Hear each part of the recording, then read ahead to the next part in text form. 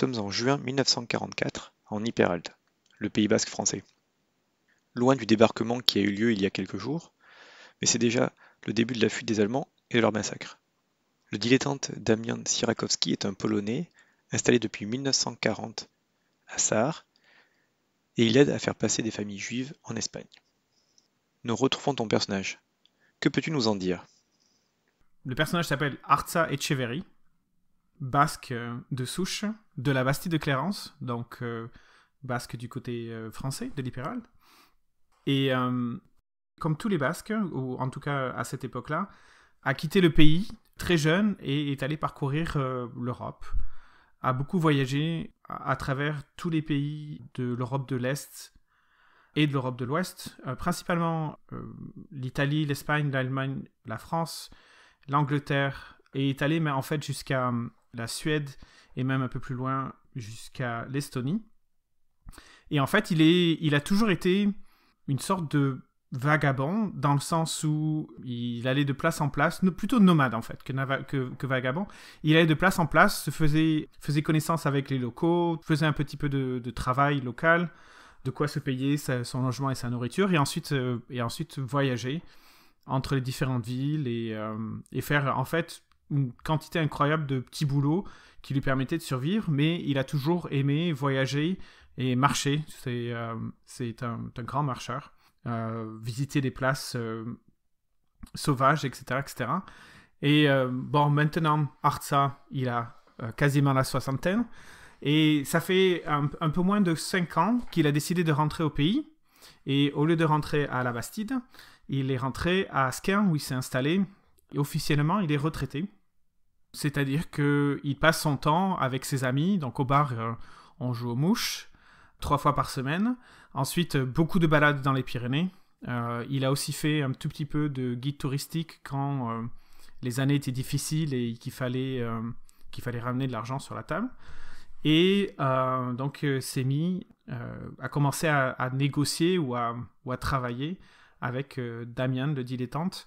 Sa connaissance très bonne de la région, liée au fait que euh, c'est quelqu'un de, plein air, hein, faisait qu'il avait commencé à, faire, euh, à accompagner certains réfugiés à travers les Pyrénées euh, la nuit pour leur faire passer la, frontière espagnole au couvert de la police, la Gestapo et tout le reste, et tout le reste en fait.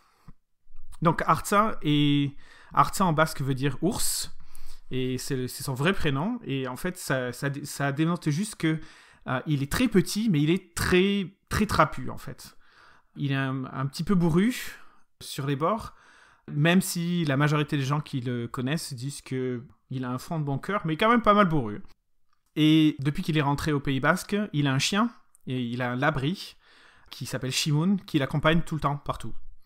Les labris sont des, sont des chiens de berger, c'est très réputé, donc ils sont, ce sont des chiens qui ont pour fonction de, de faire en sorte que, les, que le troupeau reste ensemble. Donc ce ne sont pas forcément des chiens protecteurs, au contraire, ce sont des chiens rallieurs.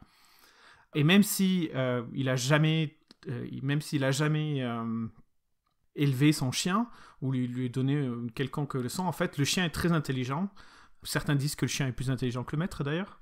Il y a toujours ce principe de, rallier, de surveiller les alentours, etc. etc.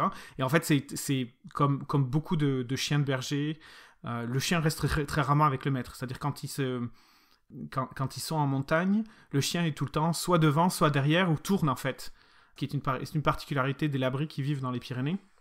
De par leurs habitudes ancestrales, ils sont tout le temps à surveiller tout ce qu'il y a aux alentours. Et voilà. Parfait. Donc j'ai mis dans, le chat une sorte de carte qui est un peu la carte de la zone. Euh, donc c'est quand même assez, euh, on va dire, euh, hormis le côté montagne, c'est assez vallonné, c'est assez vert, il y a plein de cours d'eau un peu partout, donc ça creuse des grottes aussi, donc il y a pas mal de grottes. Ces grottes, elles servent à entreposer des choses, et puis des fois il y en a qui permettent de faire des passages aussi, donc c'est par ces moyens-là aussi que Artsa utilise aussi, donc avec Shimun, c'est ça? Shimun et Artsa. Shimun, c'est le nom du chien. Bah, pour faire les, les voyages vers, vers l'Espagne et, et, faire passer les, les, différentes personnes. Alors les grottes de Sar sont très connues. Hein. C'est Tout un à fait. touristique euh, très, euh, très important. Ça tombe bien. mais on est en, on est en 1944, donc euh, c'est c'est pas, c'est pas le tourisme qu'on connaît actuellement, mais effectivement, euh, y a, ces grottes sont connues. Et donc, on est le 20 juin euh, 1944. Il pleut, c'est la nuit, et euh, Artsa rentre d'un de ses euh, passages, en fait. Euh, il est assez fatigué, épuisé, et donc il arrive euh, pour rentrer le plus rapidement pour aller vers chez lui. En fait, il passe par la, la demeure de Damian. Donc c'est une, c'est en sortie de, il y a une route en fait qui permet de dégager, qui permet d'arriver à la, après à la, ville en fait. Mais ce qui est, ce qui est intéressant, c'est qu'elle a accès à des grottes et qui permettent après d'avancer sur certains chemins. Donc euh, ça va démarrer effectivement en étant dans cette Artsa arrive donc dans la, dans la propriété de Damien par cette euh, grotte en fait, euh, enfin une partie parce qu'il y a un réseau de plusieurs grottes, il a un grand, terrain, enfin même immense en fait, on peut dire un immense terrain, dans lequel il y a la nivelle qui passe pas loin et qui permet de suivre et de montrer dans les grottes, et tout ça. Donc là, ce- normalement, quand on arrive par la route, il y a un grand portail euh, en fer forgé, donc euh, qui donne lieu à deux, enfin qui a deux portails en fer forgé qui donnent sur une route qui se ressemble, qui permet d'arriver à un parvis, qui permet d'amener à une immense demeure à, étage. Et derrière cette demeure à étage, il y a euh, différents jardins, plus ou moins à étage ou autre. Et puis derrière ces jardins, on arrive sur la rivière avec les grottes, plusieurs types de grottes, et qui permettent comme ça de, de se déplacer euh, discrètement. Et donc euh, Artsa et Shimun arrivent par ces grottes-là et arrivent donc euh, vers, la demeure. Un autre élément aussi, c'est que pour ce- ces petites affaires, donc puisqu'il est quand même assez âgé, Damien, il a, aussi une autre personne qui vient que qu'Artsa connaît très bien, qui est un fils du pays aussi de, de Sar, qui s'appelle Pietro Iturria, qui est un, tailleur de pierre en fait du secteur, en fait, euh, et donc il l'aide euh, dans la vie du quotidien ou autre, et puis des fois il vous aide aussi dans les dans vos vos affaires. C'est un peu un taiseux lui par contre. Euh, et son frère, il est, il fait partie des forces libres en fait. Il est parti dès le début de la guerre et lui, il a pu rejoindre les forces libres et donc il est, bah, vous savez pas où il est, mais en tout cas, il est, il est dans les forces, forces libres. Voilà. Et donc, on est là pour l'instant. Donc il fait nuit, il, il pleut. fait nuit, il pleut. Artsa est fatigué, Shimun est aussi euh, fatigué. Donc, euh, quand il revient, en général, il a le- l'habitude de revenir euh, via Damien pour se reposer. et, euh, voilà. Ok. Il faut savoir que Artsa ne conduit pas, donc euh, même euh, donc mine de rien euh, de Sar à chez lui, euh, reste- ça reste quand même une petite trotte. Hein. Ah oui, c'est sûr. Donc c'est bien qu'il ait un point de chute. Ouais. Je pense qu'en arrivant, comme, à son habitude, il va jusqu'à la porte de derrière. Comme d'habitude, la lumière euh, extérieure est déjà allumée. Il y a une sorte de lanterne qui est quand même relativement discrète, mais quand on est du bon côté de la route euh, en venant des grottes, on la voit bien. Et on voit que Artsa tape à la porte, en fait. Tape au volet. Le volet est fermé. Et il tape au volet de, de la porte et fait Oh Et il attend que quelqu'un ouvre. Ça arrive pas tout de suite, mais tu, effectivement, euh, Artsa est habitué à ce principe-là, donc euh, il attend euh, sagement, entre guillemets. Ouais, c'est ça. Plutôt, il s'adosse contre le mur et il allume une sorte de cigarette, plutôt gi- gitane maïs, qui et donc, et donc, du coup en fait il se met contre le mur, juste sous le vent comme ça, il est protégé de, de la pluie Mm. et, euh, et il fume sa cigarette en attendant que Pietro Exactement. vienne lui ouvrir en fait. C'est Pietro qui va venir ouvrir. Donc en fait là, ce que j'ai mis dans le, c'est le plan de la maison que tu connais, parce que tu la connais bien. C'est les deux niveaux, donc euh, en haut c'est le, le rez-de-chaussée, oui, le rez-de-chaussée, et euh, l'image du bas c'est le premier étage. Donc en fait il y a une sorte de terrasse euh, type pergola en fait, laquelle il peut se reposer le temps que Pietro arrive.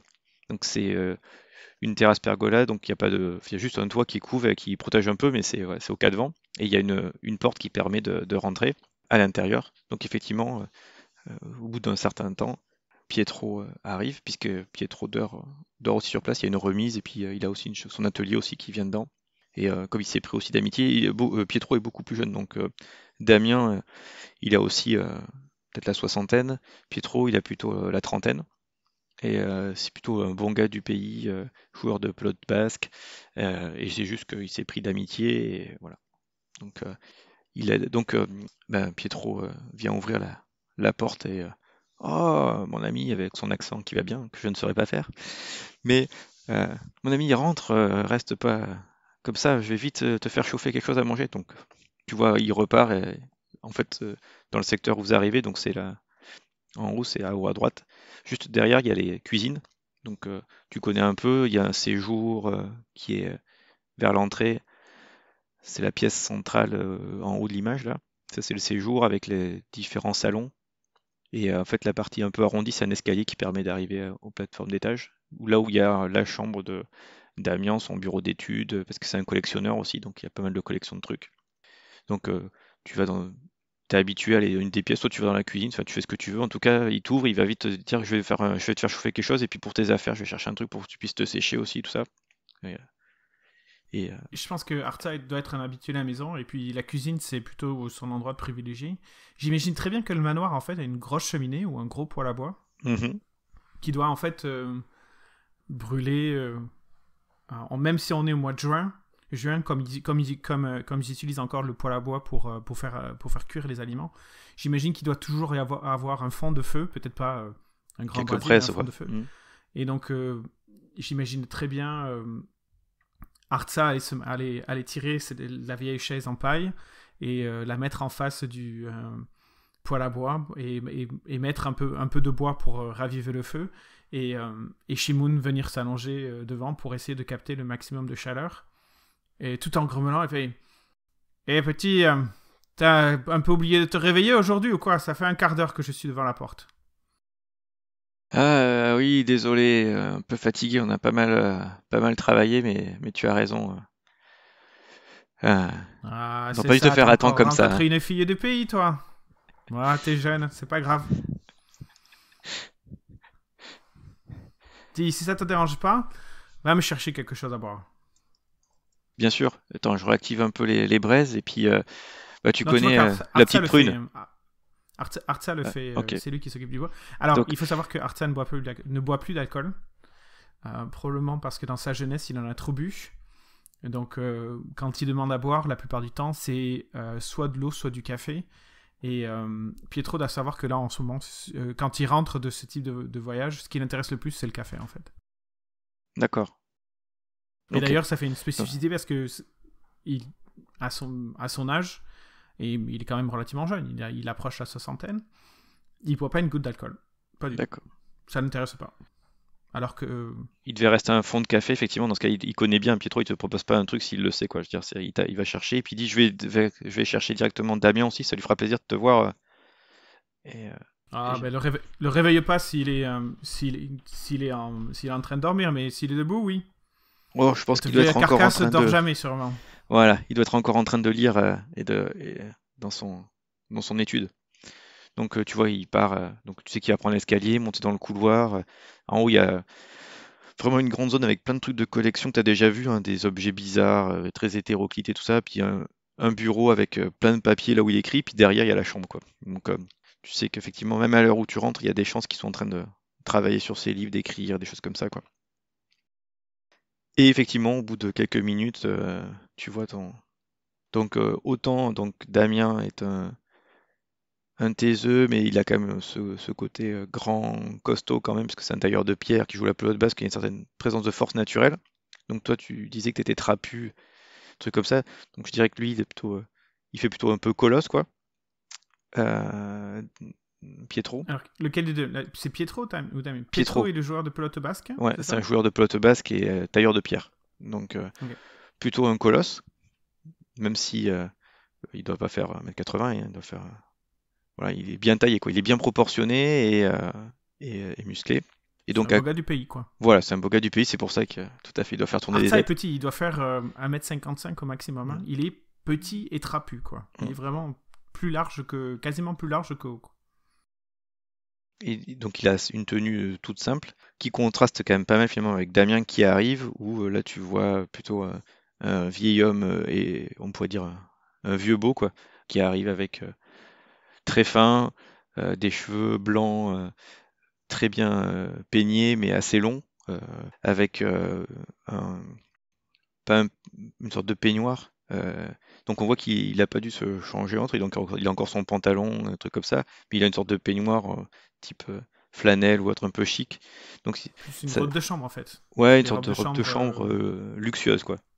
Mhm. Et, euh, et effectivement, quand même, il y a vraiment un style, quoi. Donc c'est vraiment quelqu'un qui dénote euh, clairement dans le pays par rapport euh, voilà, à l'ambiance et ça va et son côté excentrique. Mais avec un œil, malgré son âge, qui pétille et, qui est très souriant. Mais là, par contre, aujourd'hui en tout cas, quand toi tu le vois à ce moment-là, il n'a pas son regard pétillant et il a plutôt l'air avec des cernes. Même si la lumière, va dire, c'est quand même noir et tout, il y a quand même peu de lumière, mais tu le vois plutôt euh, fatigué en fait, comparé à, d'habitude. Et euh, mais par contre toujours avec son, élé- son élégance quoi. Ah il fait ah, quand, ah, quand. Damien rentre dans la pièce, euh, Artsa dit Tiens, voilà le beau. Oula, ça a pas l'air d'aller. Assis-toi, raconte-moi.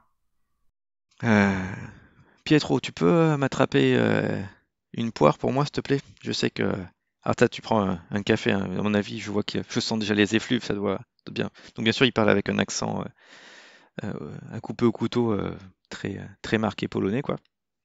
Même si ça fait des années qu'il est là, il a un accent quand même très très fort. Et euh, et en fait, vous êtes tous les tous les trois en fait autour de, de la table de la cuisine quoi. Et bah, il commence à, à te raconter quoi que oui, je suis un peu fatigué, j'ai c'est un peu dur en ce moment. Tu sais, c'était quand même parti euh, plusieurs euh, plusieurs jours et euh, en fait ils arrivent ici en fait. hein. Ils ont commencé à, refaire ce qu'ils ont fait chez moi et ça me ça travaille. Hmm. Artsa le regarde avec cet air dur et comme si ça l'affectait pas en fait. Alors que c'est plutôt un- une, sorte d'air d'intensité, limite de défiance en fait, dans le sens où euh, on parle d'un envahisseur qui vient envahir son pays. Et euh, mais tu vois qu'il dit rien jusqu'au moment où en fait il fait ah oui au fait. Et tu vois qu'il qu'il attrape son, son sac, une espèce de vieux sac, plus, plus, plus comme une sorte de, une sorte de, sac de voyage en, en cuir, qu'il met en bandoulière euh, autour euh, sur lui. Et tu vois qu'il sort une liasse de billets, de francs, qui pose devant, sur la table. Donc c'est quand même une liasse quand même relativement épaisse, qui pose sur la table euh, euh, devant euh, Damien. Et en fait, tout simplement parce que Damien lui sert de banque à Artsa. Donc en fait, il n'a pas, a pas forcément de compte en banque ou il, garde jamais l'argent sur lui. Tout l'argent qu'il gagne, c'est Damien le dépositaire. Et donc en fait, il lui donne l'argent quand il en a besoin. Donc il passe, il vient en chercher. et il en donne, etc., etc. Donc en fait, Damien, Damien est celui qui garde l'argent pour, pour. C'est une sorte de d'entente pour éviter que euh, quand la police débarque chez Artsa, qui trouve quoi que ce soit, etc., etc., Damien étant connu pour être riche, euh, dans la région, ça choque personne qu'il ait de l'argent chez lui.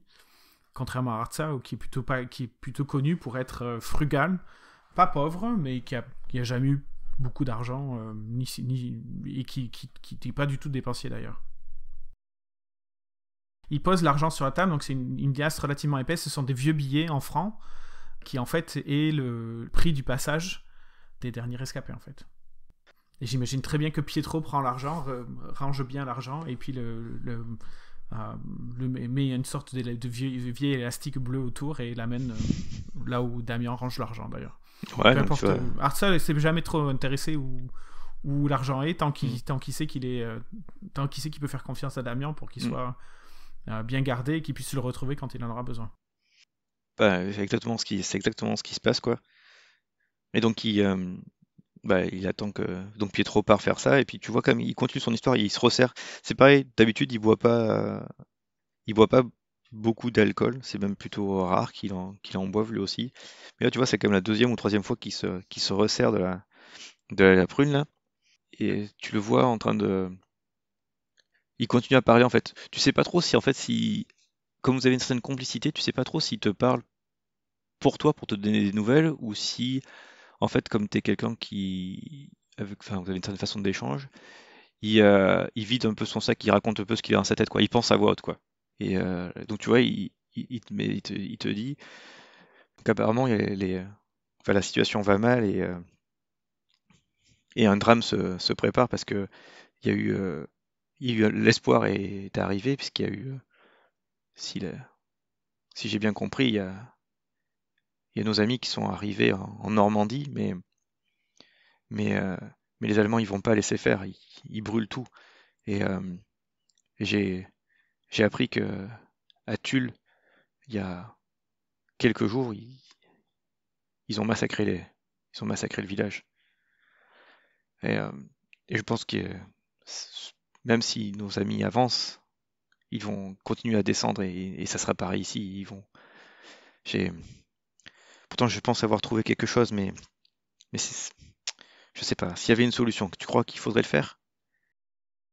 Hmm. Je veux pas dire du mal des gens de Tulle, mais nous, chez nous, on sait se défendre. Tu peux faire un petit jet de Spot Hidden? Pas du tout. C'est tout à fait ma spécialité. Allez, premier jet de la soirée, une compétence que je n'ai pas.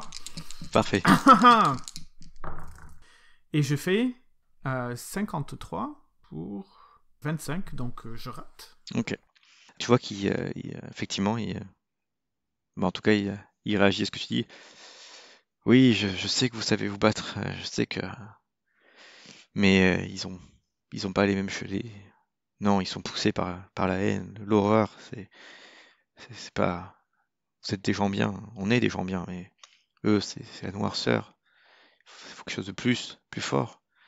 Euh, et euh, non, mais c'est, je divague, je, vieillis, je suis fatigué. Ils ont tellement fait de mal chez moi que, que je peut-être je suis trop euh, fatigué. Mais je le sens pas. Je sais quelque chose de grave. Ils vont, ils vont vraiment pas accepter de, d'abandonner le pays. Euh... Mais bon, j'avoue, tu dois être bien fatigué. Tu, ouais. Un truc que tu vois quand il parle, il tient à la main, il joue, il a une sorte de dé en fait. Il joue avec une sorte de dé en fait. Est-ce que c'est une habitude euh, Il a toujours été comme ça, comme s'il était un ancien joueur repenti Ou est-ce que c'est un nouveau dé que j'ai jamais vu ou une nouvelle habitude que j'ai jamais vue? C'est une habitude que tu n'as jamais vue. Et euh, donc il se resserre encore une fois et il dit voilà, maintenant il faut, faut se reposer. Et, euh, Au moment où il va se resservir, euh, en fait, je pense que d'une façon très délicate, tu vois que Artsa intercepte la bouteille ou bloque la bouteille de sa main. Il fait Le beau, si t'es fatigué, t'as pas besoin de ça. Mais tu vois qu'il prend la bouteille et qu'il remet le bouchon par-dessus, il fait On va aller au lit. Et donc Artsa se lève et aide Damien à se lever. Pas parce, qu'il en a besoin, parce que c'est pas Damien n'est pas forcément frêle de nature, mais plus par, euh, habitude et par amitié. Et puis, euh, je pense qu'ils vont monter tous les deux, pas forcément sans dire quoi que ce soit. Mais euh, Arsa va l'amener jusqu'au pas de sa chambre, et puis ensuite, il doit avoir son habitude, et il va aller se coucher aussi dans une, dans une autre des chambres. Est-ce qu'il y a des chambres au rez-de-chaussée à la maison, ou est-ce qu'elles sont toutes à l'étage? Il y en a, il y en a au rez-de-chaussée, il y en a une au rez-de-chaussée en fait qui est euh, sur l'image du haut. Euh, tout à gauche, en fait, il y a une partie, je sais pas si dans ma pauvre don d'illustration, il y a une zone où il y a des arcades. Donc c'est la pièce du milieu quand tu prends le. Donc ça c'est le grand séjour avec une zone d'arcade qui permet d'arriver aux escaliers. Mais si tu continues sur la gauche, tu descends. Là il y a une sorte de rond là qu'on voit. En fait c'est une sorte de pièce un peu en rond qui, qui est une grande bibliothèque. Et derrière cette grande bibliothèque là, les deux pièces qui sont côte à côte, c'est des, euh, des pièces où il peut accueillir des, personnes, euh, des invités. Donc en général, c'est là où, où Artsa vient un peu se reposer. Ouais, je pense que Artsa aimerait, a pas forcément envie de dormir à l'étage, et plutôt euh, au rez-de-chaussée. Probablement une mauvaise habitude ou une mauvaise expérience qu'il a eue pendant tous ses voyages. Et s'il y a une porte de sortie pas loin ou une fenêtre pas loin, probablement c'est devenu son, son, endroit favori pour aller se reposer en fait. Et il faut savoir que, que Shimoun dort dans, dans, la, dans la pièce aussi. Il dort pas sur le lit, ça par contre jamais. Et par contre, il dort dans la même pièce et, euh, et Shimoun, c'est un, type de chien qui est toujours en, en état d'alerte en fait. Donc euh, s'il y a quoi que ce soit, euh, il l'entendra et il commencera à aboyer. Les labris aboient beaucoup en fait. Euh, pour prévenir le danger. D'accord. Donc il faut qu'il ait accompagné Damien. Arsa, euh, comme s'il était à peu près chez lui, en fait, euh, va dans la chambre de manière très naturelle, enlève juste ses chaussures et son, son espèce de gros gilet de laine qu'il porte en dessous de son imperméable. Et puis, quasiment tout habillé, il s'allonge et commence à dormir, tranquille. Jusqu'au lendemain matin. Tout à fait. Donc, euh, comment il dort d'après toi? Ça va, il dort bien, tranquilloute? Non, il dort bien. Je pense qu'il déjà il est en confiance. Il sait que chez Damien, c'est sécuritaire. En plus, Shimoun est là, donc euh, ça le rassure aussi. Je pense que euh, je pense pas qu'Arta a, a- a des problèmes pour dormir. Donc euh, non, il doit, il doit, il doit arriver à bien dormir. Mais c'est un lève-tôt en fait. Il a vu déjà vu son âge, il dort pas beaucoup.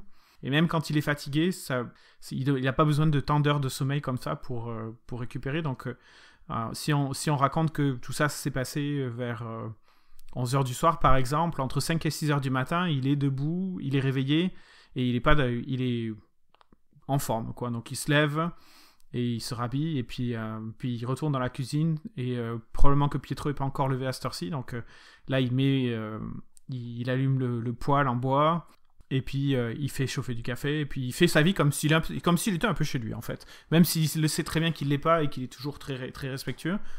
Mais, euh, mais c'est plutôt un- un- quelqu'un d'autonome et d'indépendant, donc il, fait son affaire. Euh, je pense que Damien et lui ont, établi une sorte de tradition où en fait le, matin ou de ces ou le lendemain de ces, de nuits où il vient passer après et voilà, Arsa c'est une forte sorte de petit déjeuner en- avec des œufs et découpé du, euh, du jambon de Bayonne, etc. etc. Et, euh, et donc il fait ça pour, euh, il fait ça pour tout le monde.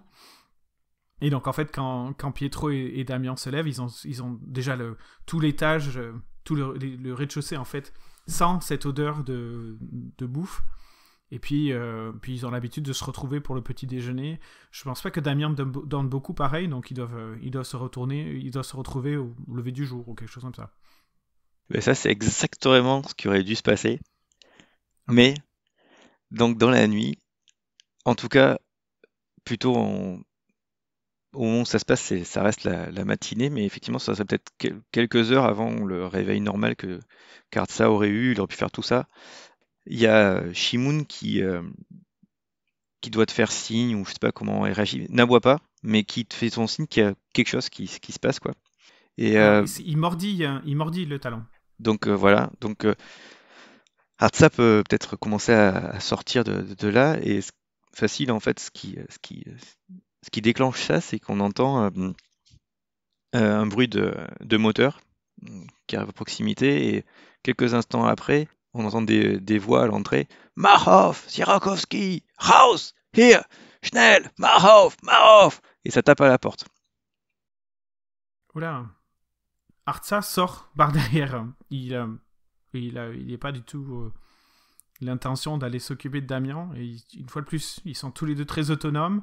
Et ça paraît très bizarre d'avoir euh, que Damien ait quelqu'un euh, d'autre chez lui.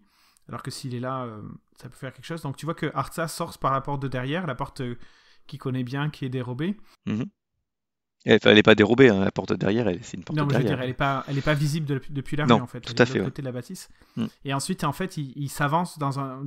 En fait, il va aller se cacher plus loin, essayant d'être euh, toujours en vue de la maison, mais, euh, mais sans être vu, en fait. Ok, donc il, il s'y prend comment? Est-ce qu'il c'est un petit jet ça ou pas d'aller se cacher ou pas? Parce que sortir sans aucun problème, ça, il y a un petit jet de hide, c'est ça, non? Si tu veux. À quelle distance? Parce que si tu prends la bâtisse, euh, donc si tu regardes l'image du haut, tu as des remises avec les ateliers de donc euh, quand tu regardes le dessin extérieur de la bâtisse, par où il peut sortir, tu as de suite une remise à droite là, qui est un grand euh, enfin, un atelier qui est plutôt réservé aux activités de Damien. Et après, tu as encore une réserve derrière, ce qui est plutôt là où il y a les pierres de, et le travail que peut faire de Pietro. Sinon, tu as le jardin, avec comme il y a des différentes décorations, il y a différents trucs, il y a peut-être des bosquets ou tout ça, il peut se cacher là, ou alors après, il y a un peu plus loin les grottes. C'est ça, j'imagine bien qu'en fait, euh, le jardin a, a une, toute une partie domestiquée. Mm. Et, mais en fait, au bout d'un moment, il, re- il re- il retourne dans sa configuration naturelle où il y a des arbres et euh, C'est ça. quelque chose. Donc là, non, il va directement, il s'éloigne, quoi. Il va directement euh, jusqu'à ses configurations naturelles pour être. mais toujours en étant capable de voir la, La, la maison. la maison. Et s'il peut pas bien voir, Mhm. il a une paire de jumelles dans son sac. Mhm. Euh, donc il peut, il peut prendre les jumelles euh, en, faisant, en faisant bien attention qu'il n'y ait pas de reflet sur, les sur la lumière pour, euh, pour le truc. Mais qu'il peut, il, regarde, il utilise les jumelles pour voir ce qui se passe. à ce qui se passe ouais. Ok. Euh, Donc, faire un petit jet de se cacher alors. Mhm. Je fais 18 pour se cacher. Pour 60, Bien. tout va bien. Ok. Donc déjà, ce que Artsa voit, c'est... euh, Enfin, il regarde s'il n'y a pas, pas vraiment des soldats allemands, a priori, vu la langue, qui, euh, qui passent autour. Et puis en fait, quelques instants après, peut-être, il y a encore une voix, mais il y a surtout un hurlement. Il y a des cris. T'entends des coups de feu. Tout ça, ça a l'air de devenir devant la villa. Est-ce que je reconnais la voix de Pietro ou de Damien? Non. Les cris ont l'air. euh, Enfin, c'est des cris de, de personnes effrayées, quoi, ou de trucs. euh, ouais, on va dire de douleur. C'est plutôt des cris de douleur. Des cris de, des cris de douleur. Et euh, jusqu'à un hurlement. Et, et après, plus rien. Ok. Est-ce qu'on entend encore les Allemands? Est-ce que. Je sais pas combien de temps t'attends, il se passe plus rien. Je pense qu'il va attendre. Il va attendre un peu, puis ensuite il va toujours en, en étant euh, à couvert. Il va essayer de faire le tour pour essayer de voir, se trouver un angle où il pourra voir euh, le, devant de la maison, sachant que, étant donné que le, terrain doit être relativement euh, vallonné, il devrait être capable de trouver un endroit qui est quand même relativement protégé, mais un peu plus en hauteur, donc il serait capable de voir quelque chose. Quoi. Ok, puis tu connais un peu le terrain, donc il y a, je pense que t'as pas trop de soucis. Bah, tu vas essayer de te mettre en position. Dans ce cas, tu vas essayer de regarder. Alors, c'est un spot hidden Ok. ou c'est euh, qu'est-ce qui paraît le plus euh, Non, mais Spot Hidden. euh, Parce que si t'es un peu c'est- caché, on va c'est dire que c'est un pour peu voir la quoi. situation de devant. C'est pas pour Ouais. essayer de, de- de regarder des détails, c'est pour voir s'ils sont encore là. En fait, ce qu'il essaie de voir, c'est s'ils sont encore là, et s'ils sont encore là, euh, bah, Ouais, non, pas je pense que. si- ouais, ouais. Mais s'ils sont partis, peut-être, euh, et, et pas avoir de traces, pas avoir d'activité dans la maison, ben, euh, éventuellement s'approcher, ouais. Non, effectivement, en fait, t'as pas, pas besoin de faire de jeu, c'est moi qui, qui, qui divague, on va dire. Donc, en fait, euh, par un des côtés, il arrive à se mettre euh, et à regarder un peu ce qui se passe. Donc, effectivement, il voit un véhicule, euh, une Porsche 108, euh, une sorte de, on va dire, de Jeep allemande, quoi, qui est devant le, devant le manoir, et rien d'autre. Alors, de là où il est, c'est peut-être compliqué, mais rien d'autre. Et il entend rien, il a pas- même dans la maison, il entend pas de bruit, rien du Non, il n'entend pas de bruit dans la maison et il n'entend pas, pas de truc. Là, ça fait combien de temps qu'ils sont arrivés, les Allemands? Bah, ça dépend le temps qu'il a choisi de réagir. Alors ça, ça peut être euh, une demi-heure, une heure, deux heures. ben, Est-ce qu'une demi-heure, euh, ce serait le cas ou... Bah, combien de temps tu penses qu'il aurait euh, Alors c'est... non, en fait, je vais faire différemment. Euh, entre le moment où il est sorti et les euh, hurlements, on va dire, il a dû Mhm. se passer 5-10 minutes max. Ok. Depuis ces hurlements, il n'y a plus rien. Plus rien. Non. Ok. Euh, Shimoun, et euh, tu dis qu'elle reste comment avec toi dans ce cas-là? Là, elle- il est juste à côté de moi, quoi. Il se balade pas. euh, Ok, il est oreille baissée, euh, quasiment un peu aplati au sol, en fait. ok. Donc la seule chose que tu... Donc il n'y a... y a pas de bruit particulier dehors ou autre, même les chants d'oiseaux ou autre. Et Shimoun a peut-être légèrement les, le poil sur le, le haut qui sont un peu euh, pas hérissés, mais, mais qui traduisent qu'il il- ressent quelque chose. Ouais. Bon, mais je pense que euh, s'il voit juste la voiture et pas d'activité, il va quand même se rapprocher de, de, de la maison, une fois de plus. Il va revenir vers la maison, toujours en passant par derrière, sans se, sans se faire voir. Et il va essayer de voir ce qui se passe dans la maison. Arriver jusqu'à la porte de derrière, Mhm. s'il n'y a pas de soldats ou personne d'autre en l'occurrence, et écouter par exemple, et puis ensuite euh, rentrer dans la maison par la porte qu'il avait, Qui connaît. Ok. par laquelle il est passé. Ouais. Est-ce que tu penses quand il a regardé euh, au niveau de, de l'entrée, il était euh, quasiment au coin de la villa ou il était plus, un peu plus éloigné que ça?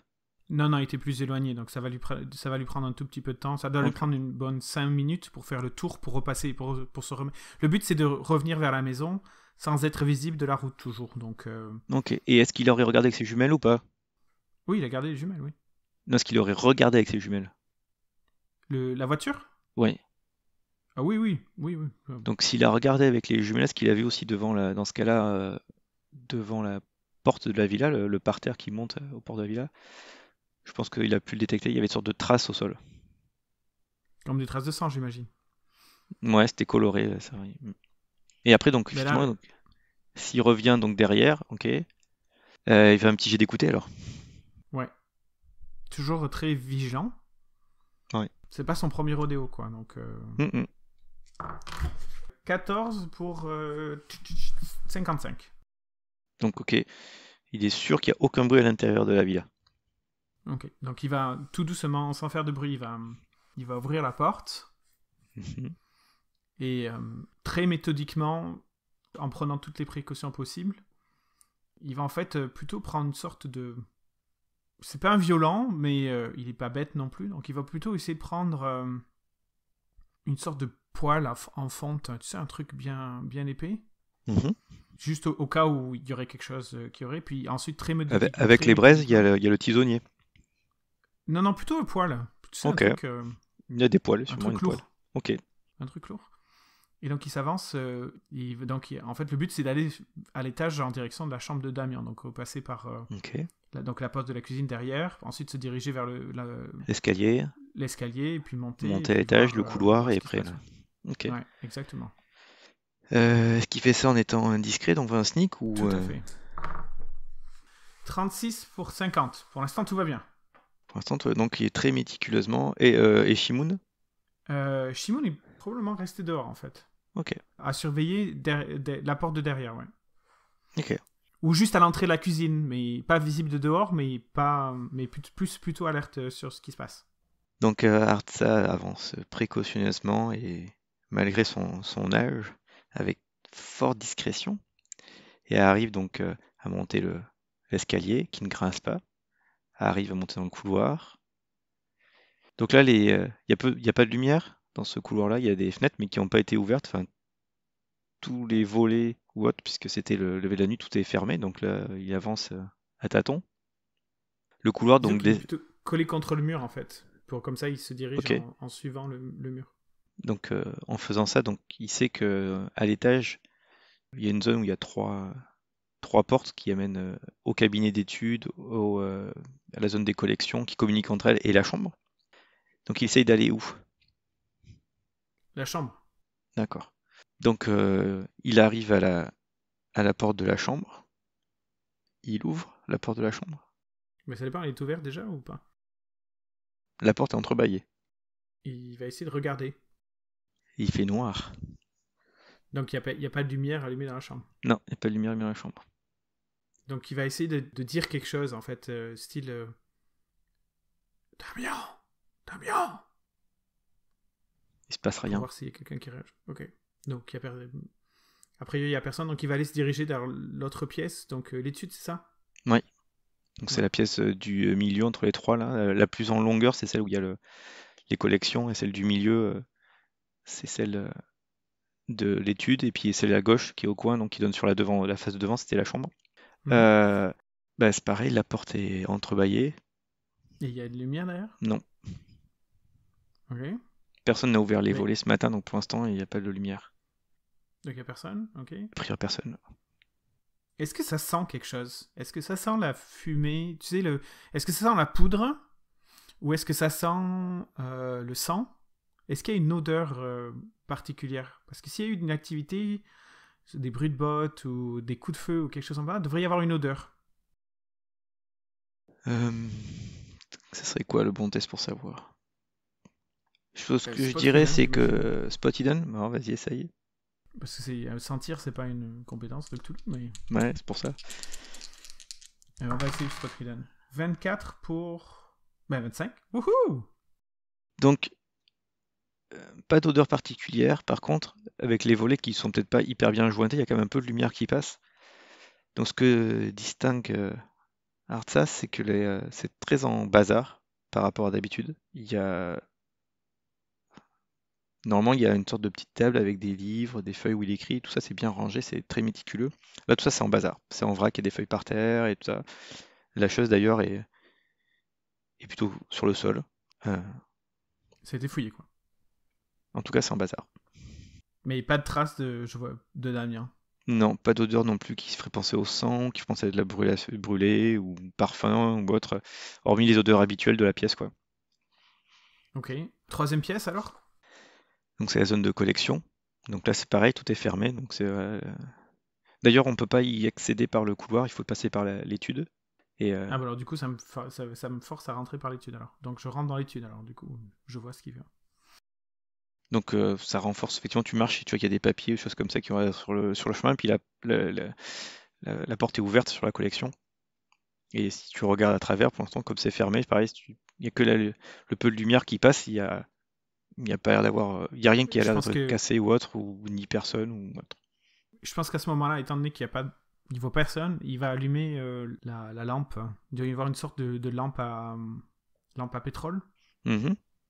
Il peut Il faire va ça. allumer la lampe à pétrole qui tout d'un coup va illuminer non seulement euh, toute l'étude, mais aussi illuminer la pièce d'à côté. Ou en Mhm. tout cas, avec la porte ouverte, va permettre de voir euh, des choses, puisque clairement, il y a, s'il y avait eu quelqu'un euh, dans ces pièces-là de vivant, c'est que euh, il l'aurait entendu. Donc là, il va Tout allumer la lumière là. Pas ouvrir les volets parce que ça peut être visible de l'extérieur, mais avec la lampe à pétrole, avec un peu de chance, ce sera moins visible. Ok, donc il fait ça, effectivement, donc euh, il voit qu'il n'y a personne d'autre.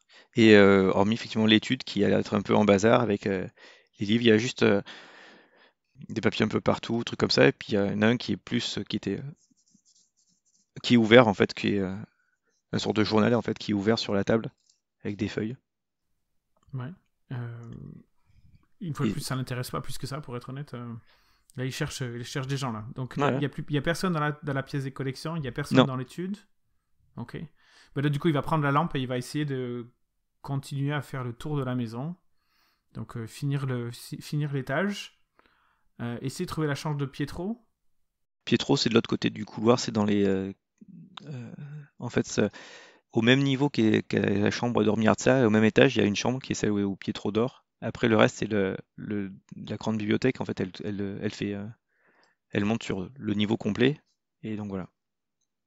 Donc, en gros, il va faire le tour de la maison, pièce Donc, par pièce. Le but, c'est de trouver soit Pietro, soit Damien. Et s'il trouve personne dans la maison, Il trouve personne dans la maison. il va aller essayer de voir dans, dans les ateliers qui sont derrière. Ok. Donc, euh, dans la maison, il, donc, euh, il trouve absolument personne. Donc, il, y a- il sort. Il y a le premier atelier qui est le premier, ça La remise La première remise, là Ouais. C'est une vieille remise avec une porte euh, en bois. Tu vois que la, la porte, elle, est, euh, elle peut être cadenassée. Là, elle est euh, entrebâillée. Quand, euh, quand tu, euh, tu ouvres, donc, euh, d'ailleurs, là, euh, quand tu es ressorti, Shimoun euh, était euh, plus normal. Elle avait plus le sentiment de stress. Il avait plus le sentiment de stress que. Donc là, il y a. Dans la remise, effectivement, il y a. euh, euh, il y a une drôle d'odeur. Euh, il y a une odeur de, de moisi, une- d'humidité, et donc il y a des, des grandes bâches. Donc dans, la, dans cet atelier-là, il y a, l'air d'avoir une.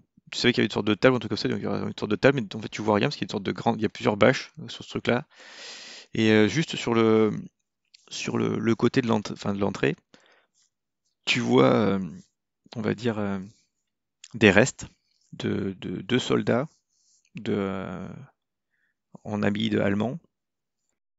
Et tu vois un troisième, un troisième corps d'un homme habillé en, avec un imperméable noir.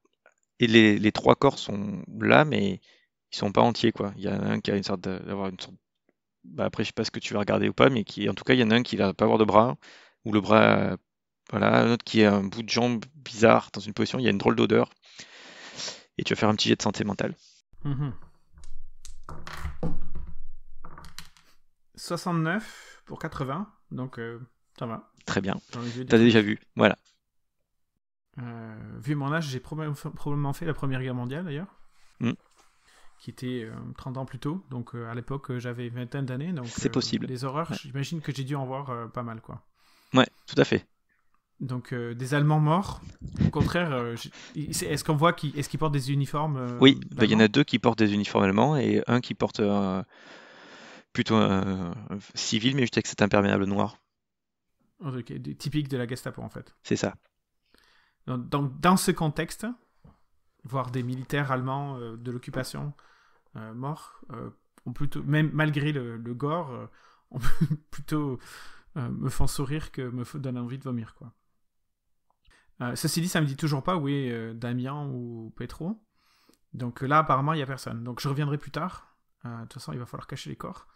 Donc je vais aller dans l'autre remise. Il y a, ou dans le l'autre remise, c'est là où il y a le le- l'atelier de Pietro, c'est ça? C'est ça. Ouais. Ok. Je vais donc aller à l'autre remise pour voir si Pietro s'y est caché. Donc euh, l'autre atelier de, Pietro, pareil, même si la porte peut être cadenassée, mais là elle est, elle est entrebâillée et tu rentres dedans et là il n'y a absolument rien, juste l'atelier tel que tu le connais euh, classiquement. Ok. Donc je ressors. Et je dis à Shimoun, je dis Shimoun, trouve Damien. Hmm, bah, tu vois que ah, c'est quoi comme compétence un chien pour faire du, du spot hidden ou du Non, track ouais. Ouais, d'accord. on va dire que ça a combien? Bon, on va dire qu'il est bon quand même. On le met à C'est un super 75. odorat, un chien. Ouais, bon, ouais. Bon, tu le vois, il se met à tourner sur lui-même, à faire sur sa gauche, et puis euh, il part en direction des grottes. Ok. Bon, alors ça c'est une bonne nouvelle. Donc je, je le suis. Bon, je pose la poêle à frire, du coup, euh, pas besoin. De toute façon, j'ai j'ai mon... J'ai dans le sac, j'ai mon... Bon, raccroché sur le sac, j'ai mon bâton de marche, qui est un maquila, donc qui est le bâton des bergers euh, Ouais. au Pays Basque. Donc euh, non, je suis... euh, je, je, je suis Shimon. On, va, on, on essaye quand même d'y aller relativement vite. Hein. Ok. C'est pas comme si on prenait une grande marche jusqu'au trot. Au contraire, on fait un petit trot là pour... Euh, Donc vous arrivez dans, dans les grottes, effectivement, dans ceux qui vous servent à passer. euh, Il y a une odeur, euh, une odeur bizarre, euh, même, même type que celle dans la, dans la remise où il y avait les cadavres.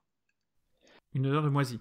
Ouais, cette odeur de moisi et de mort aussi finalement. Maintenant tu te dis peut-être une odeur de mort. Peut-être effectivement, connu, toi qui as connu la Grande Guerre, euh, ça te rappelle effectivement une certaine odeur dans, dans la tranchée quand il y a eu les, les tas de cadavres après les, les gazages ou les, massacres, trucs comme ça. Effectivement, il y a une Un odeur peu comme un charnier. Ouais, un peu comme un charnier peut-être, ouais. Truc, euh, mais mais poisseux, poisseux, ouais. C'est et Un euh, charnier poisseux. Ok. Humide, quoi. Une, Ouais. une, mélangée à une odeur d'humidité. Se dit, on est dans des grottes, hein, donc. euh, Mm. Et il pleuvait hier, hier soir, donc euh, l'odeur d'humidité, elle est naturelle. donc là, par contre, il fait pas trop de lumière. Tu fais comment là?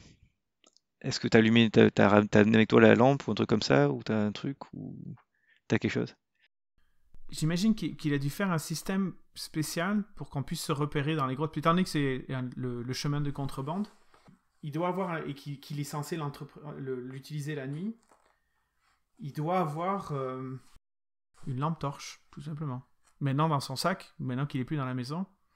1940, ça existait une lampe torche Oui, oui. D'accord, si tu le dis. Ben oui, 1940, c'est- si tu veux, on- si tu veux, on, va la chercher, non. mais, mais je pense que Ok, 1940, ça donc il, a- doit voir ça, donc parfait, donc il, a, il allume, parce qu'effectivement, donc euh, Shimoun rentre là-dedans et donc euh, poursuit, donc il allume des lumières.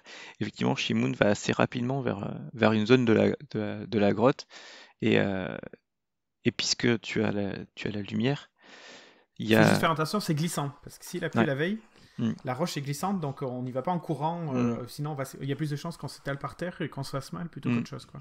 Et donc là, euh, tu vois pl- plusieurs choses alors, puisque tu as l'éclairage et tout ça. Euh, premièrement, la chose, première chose qui te surprend, toi qui t'es passé là, ou en tout cas dans le secteur hier, c'est qu'en balayant avec la lumière de la torche, tu vois que sur, sur les parois de la, de la grotte, dans, cette, dans ce secteur-là, il y a des sortes de symboles qui sont, qui sont apparents et qui, qui, ne, qui, qui répondent au moment où tu passes la lumière. Au moment où tu passes la lumière dessus, ça, il brille un peu et ça reste. Après, hop, ça redisparaît si tu laisses plus la lumière devant.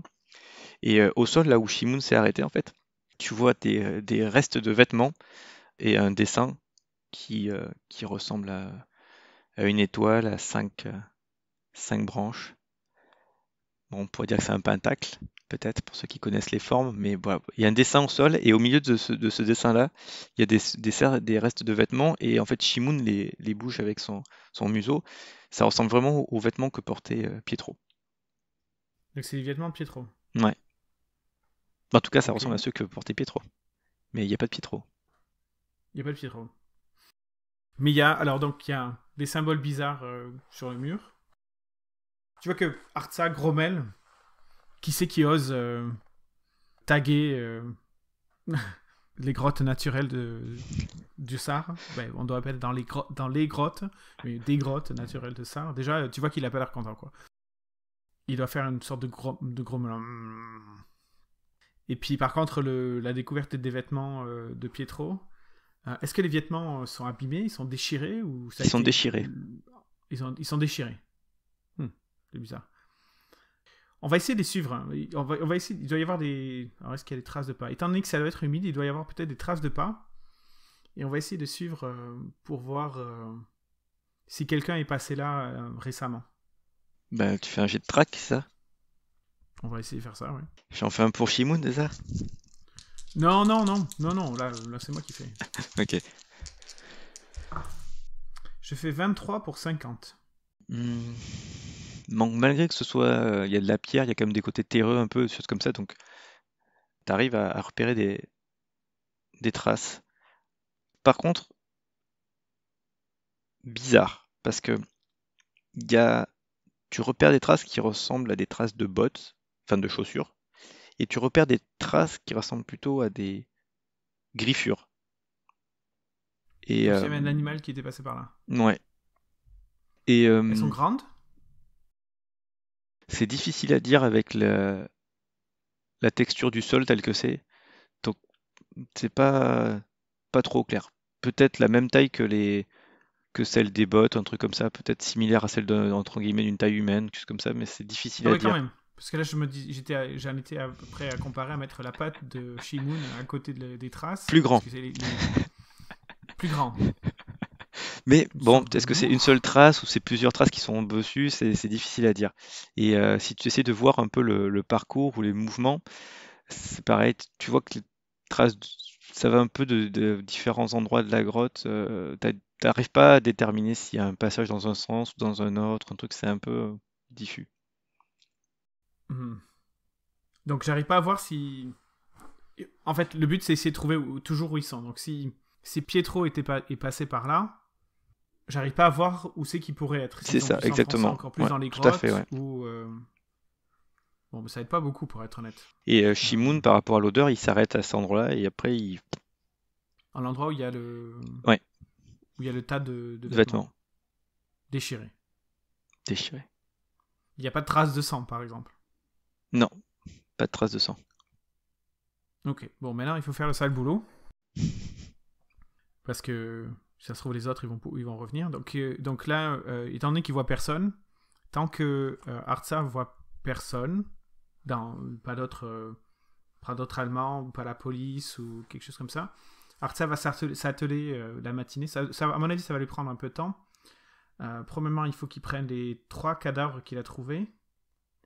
Et il va essayer de les balancer ou les foutre dans, quelque part dans la forêt pour qu'ils soient bouffés euh, par les animaux ou les creuser. Là, il n'y a pas vraiment de, de forêt avec les grottes, ça c'est des bosquets, des petits trucs, il n'y a pas vraiment de vraie forêt ou, euh, dans ce secteur-là. Et trouver un endroit où on peut les. les une, une crevasse en fait. Une crevasse Mais oui, je pense qu'avec le son réseau, il peut largement trouver de quoi les, oui, les cacher. ouais. Hmm. Et le deuxième truc, c'est s'occuper de la bagnole. Là, en fait, euh, il faut la faire disparaître. Mhm. Trouver un moyen de la faire disparaître. Pareil, éventuellement, euh, aller un peu plus loin et la faire tomber dans un précipice ou un truc comme ça. euh. On va faire un jet de chance alors. Ouais, il n'y a pas trop de précipices dans ce coin-là, pour être honnête. hein. Bah oui, c'est pour ça Euh, que- Asquin et ça, et ça, ça monte, mais, euh, mais c'est, on n'est pas sur des petites routes de montagne. Puis la nivelle, c'est en pareil, fait, c'est euh, euh, la nivelle, la mettre dedans, mais C'est ça, la faire tomber dans l'eau, ouais. Euh, Mais bon, est-ce que ça va ouais. vraiment la faire partir au loin ou tout ça, ça va rester, euh, je sais pas trop. Non, au contraire, euh, ça- c'est assez profond à cet endroit-là. Elle est grande la nivelle à cet endroit-là, donc on est capable de la faire. De je suis capable de l'immerger comme une sorte de sortie de route, et en fait, la, la voiture tombe dans l'eau, et puis ensuite elle est immergée, on la voit pas. euh, Ok. On la voit pas. C'est l'eau est pas claire, quoi. Elle est pas transparente à ce Ah ouais. donc, euh, Donc on donc va ça- dire. À mon avis, ça va prendre bien euh, quelques temps, le temps Ah oui, au moins jusqu'au début d'après-midi, quoi. Ouais, c'est ça. Donc euh, il fait le sale boulot pour faire en sorte que ça fait, et ensuite il va aller nettoyer le Porsche où il y a le sang. Exactement. C'est ce que je te dire, parce qu'après il y avait le sang. Ouais, très bien. Donc ça, on est au début euh, d'après-midi. Il a fait tout ça et on est au début d'après-midi. Il y a toujours personne. Toujours personne. Oui. Euh... Et bien là, il va essayer de trouver l'argent. Parce que si tout son pognon est là et que la maison est vide et puis Damien il s'est barré, euh, Ouais. il a besoin de récupérer son pognon. Donc il va essayer de trouver l'argent. Il récupère son argent. Il va faire un jet de spot hidden. Super. La spécialité.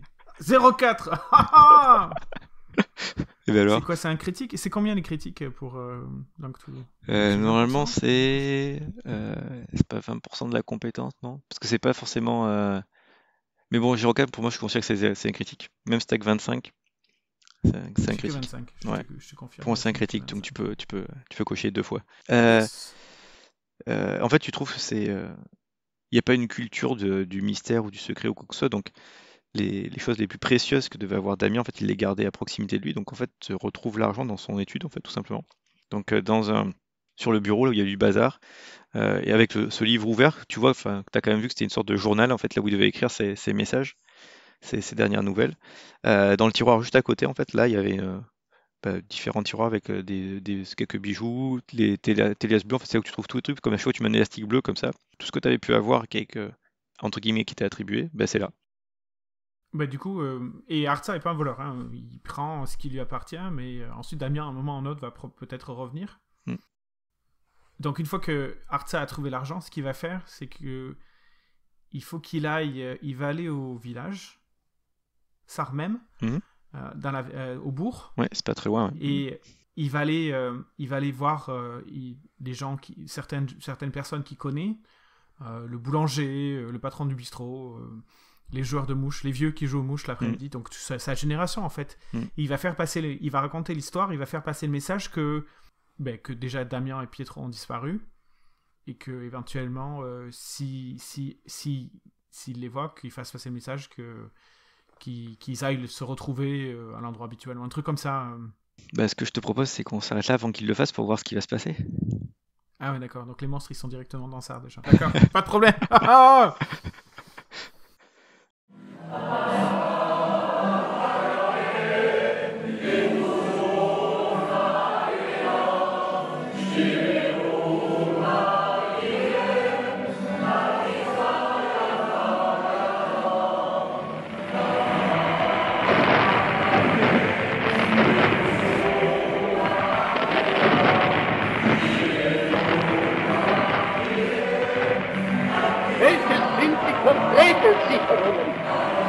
dat in internationaal conflict van Duitsland, Bosnië en Amsterdam.